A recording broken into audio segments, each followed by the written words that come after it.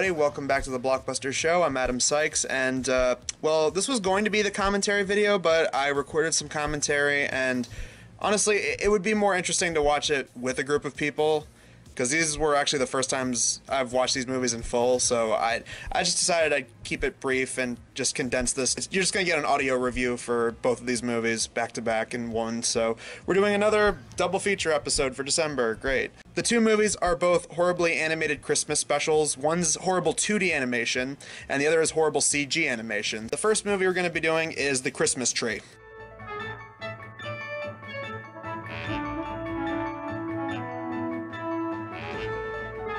So the Christmas tree looks like it's trying to be like a Disney type of thing. Uh, the animation style reminded me a lot of kind of wannabe Disney stuff from around that time. Like watch any shitty straight to video Disney knockoff. It looks a lot like one of those. The main plot is about this orphanage run by this evil bitch who's a lot like Cruella de Vil. She's just stereotypically evil. She hates children, she hates little animals, and she hates the fact that the kids seem to have a fondness for uh, a, a Christmas tree growing in the backyard, who they gave a nickname Mrs. Hopewell. This evil old lady tricks the town mayor into giving them money by making it seem like she cares about the kids because every time he comes over to visit, she presents the kids as like they have perfect clothing and all that kind of stuff and they're well taken care of. And he just gives her two bags of money and that's it and uh, with recycled animation, which we're going to see a lot in this special because the animation this sucks monkey nuts. A small family comes to town with uh, a husband slash father, wife slash mother, and their two kids, uh, a boy and a girl, and the wife slash mother she's going to be working at the orphanage and of course she sees what an evil old bitch this lady running the place is and uh, her two kids grow a friendship with all the very creepy children, and these kids too, as well as the dog that they keep a secret around the evil old lady named Licorice.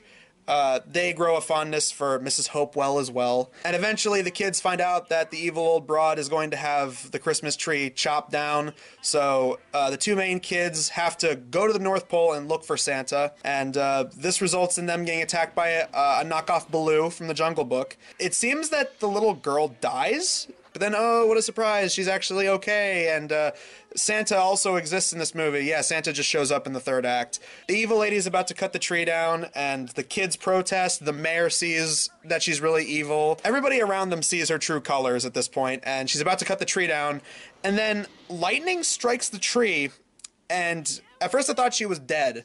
But no, apparently her brains got scrambled and now she's all of a sudden a good guy. This feels like a Christmas movie that was made by someone who had no idea how to make a kids movie and they just somehow ended up shitting this out for the Christmas season. Unlike uh, Christmas Vacation 2 and Jingle All the Way 2, it doesn't feel like it was cynically put together. It feels like a really bizarre labor of love that's just so laughably bad. The animation is terrible. The voice acting is so stiff and monotone and robotic. And it's really weird because the two main kids are clearly voiced by actual kids. It's like if you asked a three year old to read lines. But there's one kid who's obviously just an adult.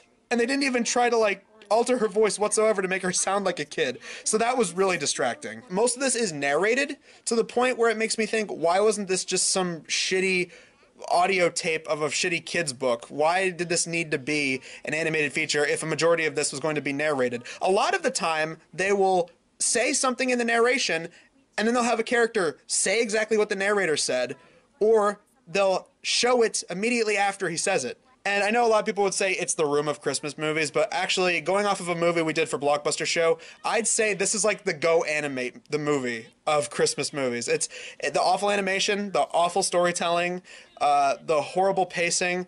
This is right up there with GoAnimate as one of the funniest, so bad it's good movies for Blockbuster Show. As a movie itself, it sucks so bad, but if you look at it from the so bad it's good perspective, you get a bunch of friends and you have a bad movie night and you guys like to pick apart shit like this, I say go for it. This is right up there. And next up we have Rapsittie Street Kids Believe in Santa.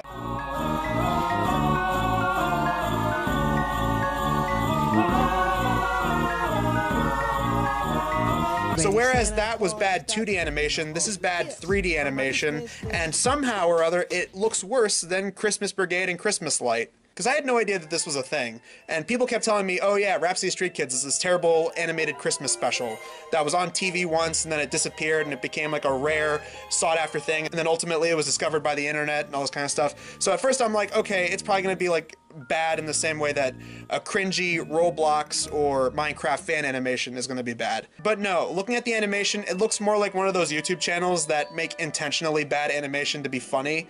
Like, it looks like surreal entertainment like level of animation except that's intentionally bad. The plot is very basic very standard. Uh, this little kid ricky has a crush on this girl in his class who is just like stereotypical rich pompous snobby girl and she's terrible. She's like like take the worst traits of any generic stuck-up prissy bitchy girl from a cartoon you grew up with and ramp it up to the nth degree and she's just insufferable. So Ricky gives this girl a teddy bear that was like a huge part of his family and uh, she rejects it and says that it's stupid and then later he writes a letter to Santa 2 days before Christmas. You figure that one out.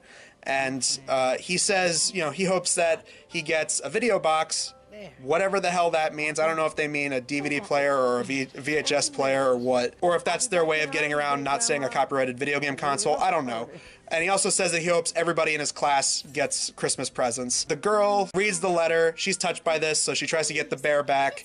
And they end up getting the bear back, but for some reason, yeah, there's 12 more minutes of the movie after that, and you see her family, and oh, there's also songs all throughout this movie, and the songs are like not horribly produced, but they're not anything special either. One of the big problems with this movie is that all the characters are incredibly one dimensional. Like, the main kid, uh, he raps because I feel like this was trying to be urban and cool. And then his best friend is this fat kid who has a scarf over his mouth the entire time. I don't know why. Uh, my guess was to cover up, like, they just didn't want to animate more mouth animation. Uh, and he's always carrying around a sandwich because he's the fat kid. It's seriously like on that level. Generic bully characters who are just there to be bullies and spout lame ass insults to the main characters. The prissy, snobby girl eventually, like I said, gets her redemption arc. She has kind of a geeky best friend who still believes in Santa, and when she's being really bitchy in the beginning of the movie, she laughs at her, like, haha, you believe in Santa, you're a dumbass. And then eventually she goes, yes, I believe in Santa, because just like in the Christmas tree, Santa shows up at the very end. That was the, the common theme with these movies. Santa shows up at the very end of the film. And it's very weird. During the end of the movie, when they show uh, ending credits, in Comic Sans, of course, in the grand uh, Cool Cat Saves the Kids tradition, uh, they have like 2D drawings. Apparently, like that was like concept art. And it looks better than the actual movie itself. So it makes me wonder was this not finished? They just rushed it out and they're like, ah, screw it, just release it as a movie? Or was that seriously the best they could do? Uh, it's it makes me it's like a chicken or the egg situation. And the really jarring thing about all this is halfway through the movie, I was like, wait a minute, I'm recognizing these voice actors, and then I look it up.